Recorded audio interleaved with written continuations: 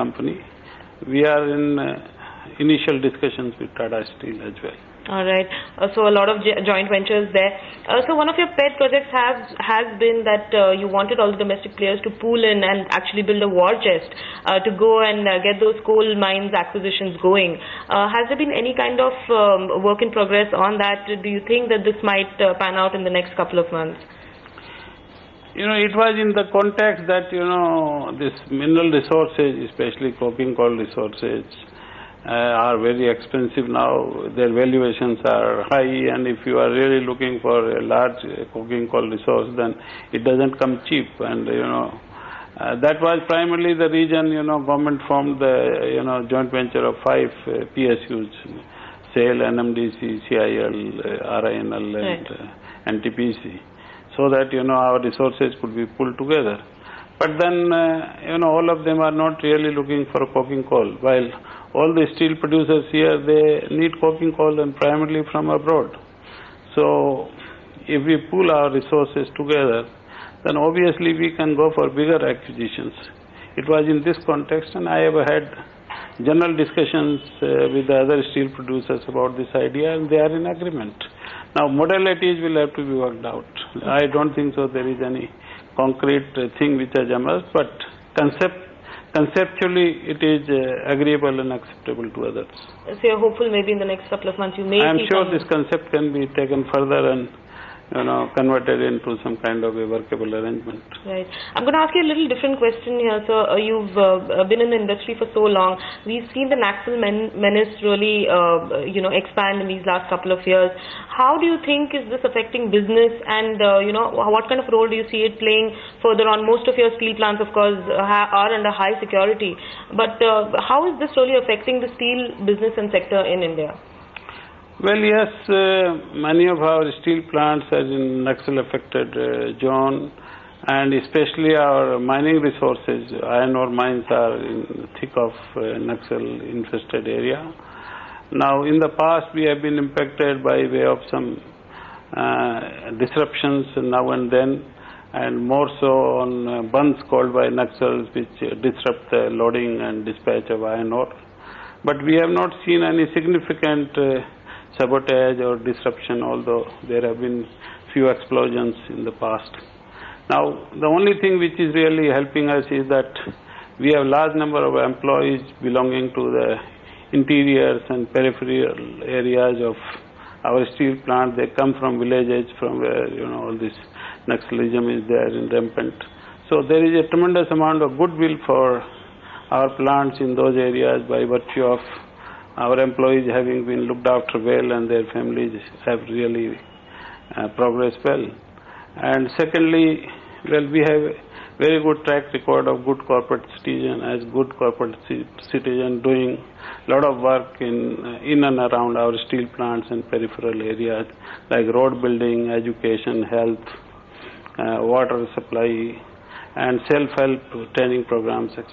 Right. And we will continue to do that. Right.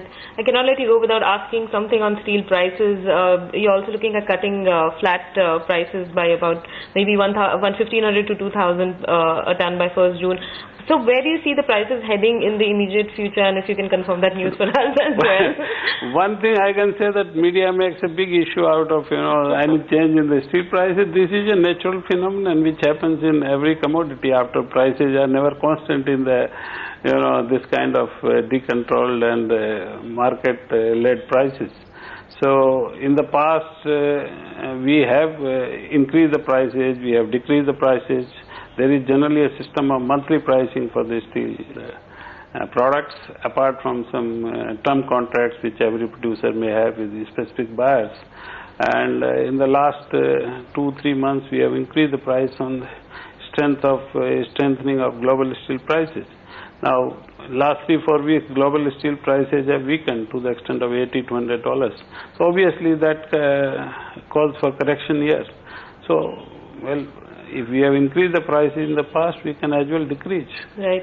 So in, in uh, the immediate future, where do you see both flat and long uh, steel products prices heading? Uh, initially, like you said a couple of months ago, we saw um, them uh, being increased, and also there was a little bit of uh, concern in terms of whether there was a cartel being formed and things like that. But uh, in the immediate future, where do you see the prices heading? Do you see them stabilize, or are we going to look at some more cuts? Now, one thing I must clearly emphasize that market dynamics is such in the country that there is no question of formation of any cartel or manipulating the prices.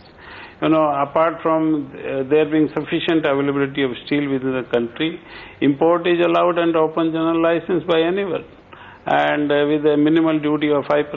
So question of any cartelization doesn't arise. If the prices have gone up in the past, that is on the strength of international steel prices going up and uh, that, that will remain the phenomenon and I suppose our prices are especially for flat products are very much aligned with the global prices. Uh, so I well I am seeing that uh, long product prices have corrected quite a bit uh, since the peak of uh, recent peak of March uh, end. uh, almost five to six thousand rupees a ton. So it is a welcome relief for individual house builders, construction industry, and infrastructure industry. And uh, there has been uh, correction in the flat product prices as well in global markets. That will get reflected in Indian prices also. I suppose already uh, some producers have uh, reduced the prices mid-term this month. Even SAIL has corrected its prices mid-term we brought it down by 1500 rupees a ton. Right. So we will remain aligned with the global market. Right. One of the things that hap- that has happened under your tenure in SAIL is that uh, the production cost has really come down uh, for the company. Uh, how do you see this uh, panning out in the next uh, quarter or maybe even uh, next two quarters? it is very key and vital for our company as well as other steel producers also because ultimately there is overcapacity in the world and your competitive costs will determine your status in the industry. And uh, SAIL, as far as SAIL is concerned, we have advantages on certain score like, you know, we have 100% captive mines for iron ore, so we start with an advantage there, but we have disadvantage in form in terms of high manpower costs because historically we have been having large manpower although over the years. We have reduced in the last 10 years we have reduced our manpower by one third more than 35 percent while our production has gone up by about 50 percent. So that has led to much higher productivity.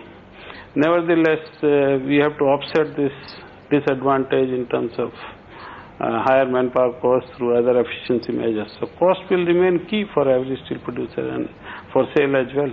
It will be our effort to remain most cost competitive, at least uh, uh, domestically, and right now we are quite cost competitive even on international scale. Right. Uh, you